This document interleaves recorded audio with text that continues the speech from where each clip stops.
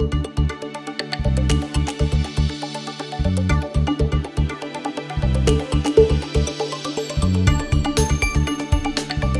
my name is Dean Nawata. I'm the president CEO of, of Kapuskasing Gold, uh, ticker symbol KAP on the Venture Exchange.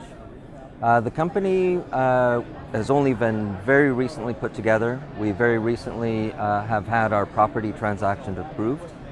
The company was built around a fellow named Mike Tremblay, who won Prospector of the Year last year for the Probe Mines Borden Lake discovery.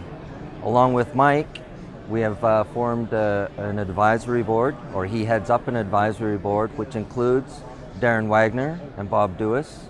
Uh, uh, Darin Wagner from Balmoral Resources, recent discovery in Quebec. He actually won Prospector of the Year as well for Quebec last year. Uh, Darin and Bob, uh, prior to this, they were West Timmins Mining, which got bought out by Lakeshore, Lakeshore Gold in 2009. Prior to that, they were Bandor, uh, Trelawny, and that sort of string of, of companies.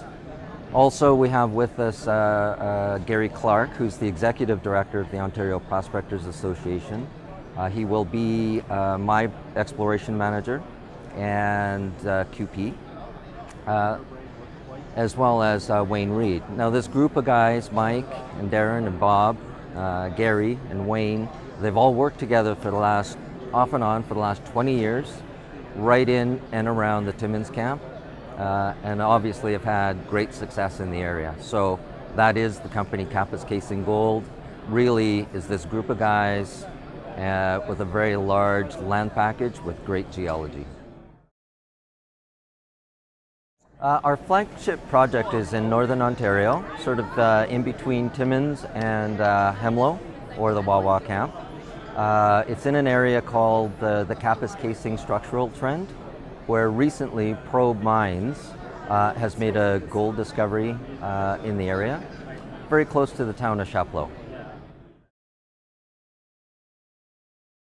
Yes, if you check on the insider trading list on SEDI, uh, 49 North, who is an insider, uh, currently owns about 17% uh, of the company, has been the largest inside buyer that's printed.